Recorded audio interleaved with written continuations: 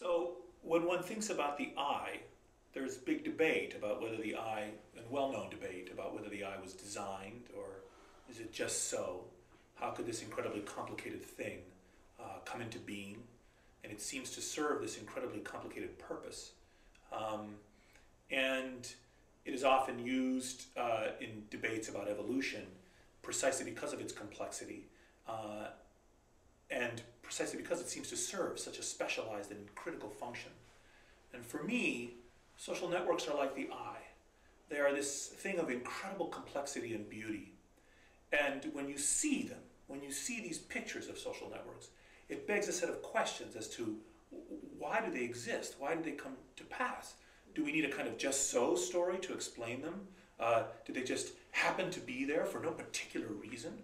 Or do they serve some purpose? Some ontological purpose, uh, and some pragmatic purpose.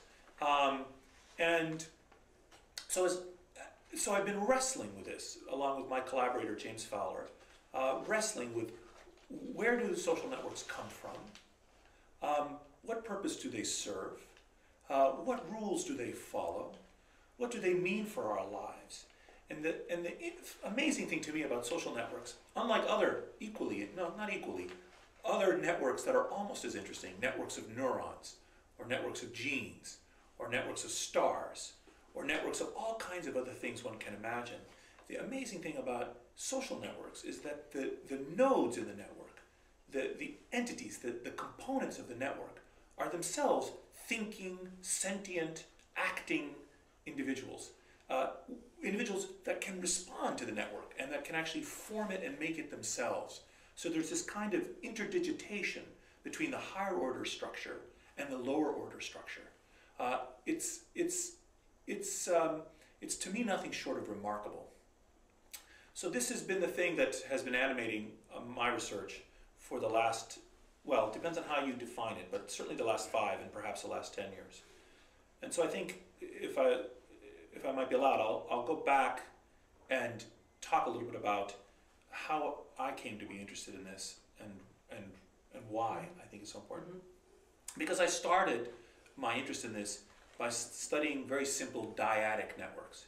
Uh, a, a, group of people or two people, a pair of individuals, is after all the simplest type of network one can imagine.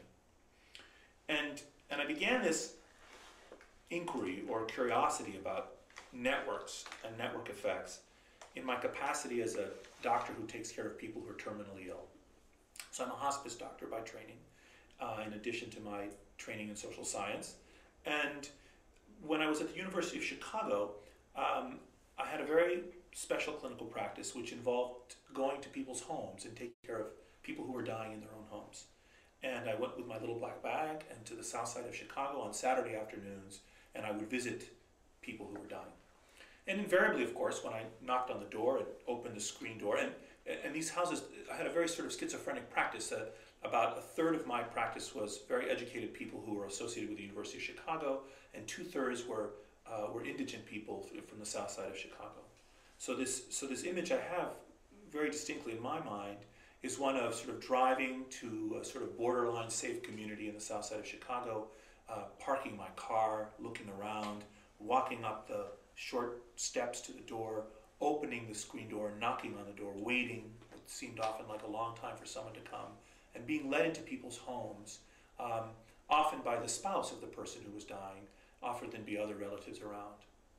And of course, my primary focus as a hospice doctor was not just on the person who was dying, but also on their family members.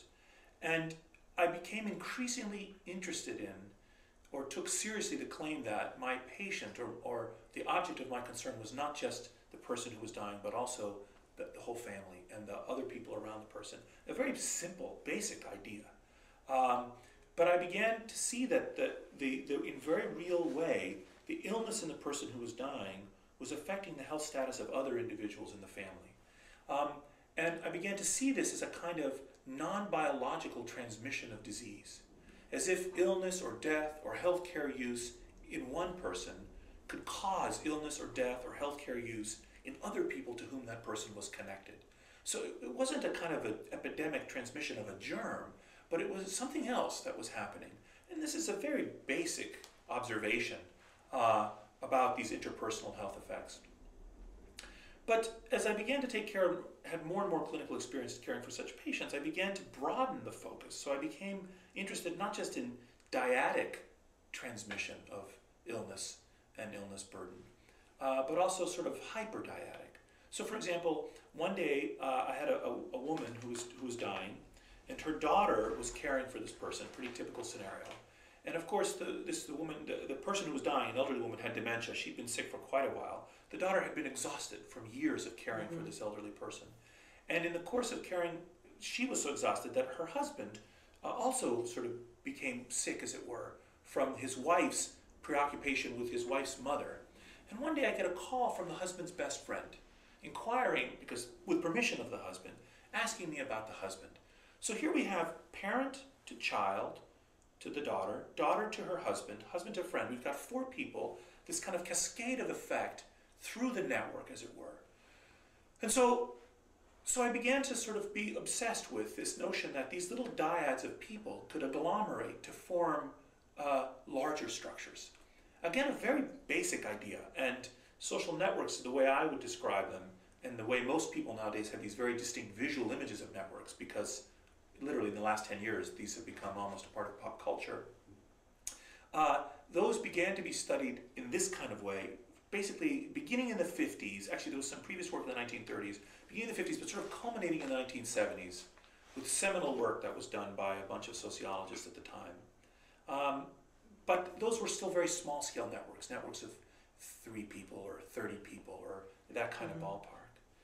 But of course, we're connected through each other into vastly larger, more complex, more beautiful uh, networks of people, uh, networks of thousands of individuals, in fact. And, and these networks are, in a way, especially in the case of human beings or social networks, living, breathing entities uh, which, which reproduce, uh, which have a memory, uh, which have things that flow through them, um, which, which have a purpose, uh, that it can, they can achieve things that are different than can be achieved by the constituent individuals, um, and which are in fact very difficult to understand. Um, and so this is how I began to think about social networks about five years ago.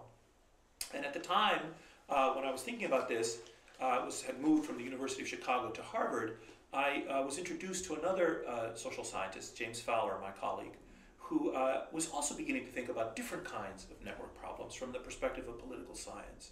So he was interested in problems of collective action. How are groups of people organized? Uh, how is it that the action of one individual can influence the action of other individuals? Um, he was also interested in basic problems like altruism. Why on earth would I be altruistic to somebody else? Um, what purpose does altruism serve? In fact, I think that altruism is a, is a key predicate for the um, formation of social networks because it serves to stabilize social ties. If I was constantly violent towards other people or never reciprocated anything they did that was good for me, the network would disintegrate, right? All the ties would be cut.